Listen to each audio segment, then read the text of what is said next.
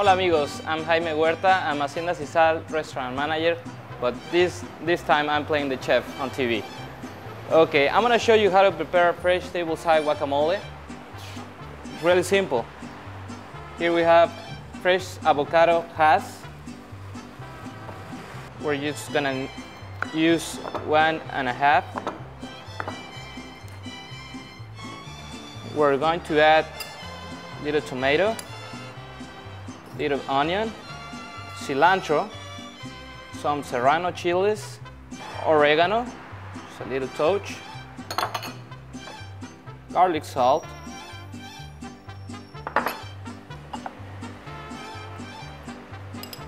just white pepper,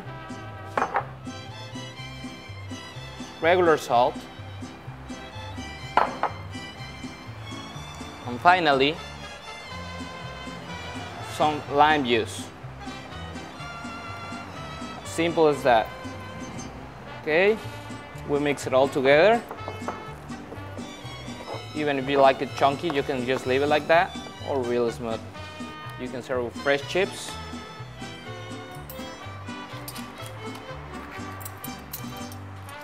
It's ready. Hey, here's a great tip to keep your guacamole fresher longer.